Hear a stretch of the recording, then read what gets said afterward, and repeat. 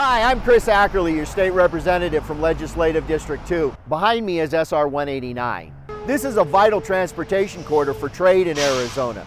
One of the things that I was able to do in last year's budget was make sure that improvements to this section of State Route 189 were included in the transportation budget.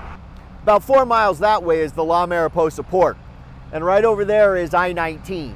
Every year, Arizona does about $20 billion worth of trade with Mexico.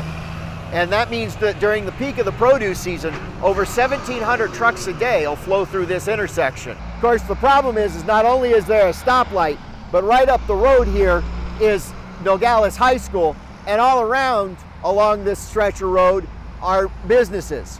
So during the peak of the season, this almost becomes an impassable parking lot. In order to keep trade flowing, we have to make improvements to this stretch of highway. Because I serve in the majority caucus and am included in budget negotiations, last year I was able to ensure that there were additional funds for improving SR 189 in the state transportation budget.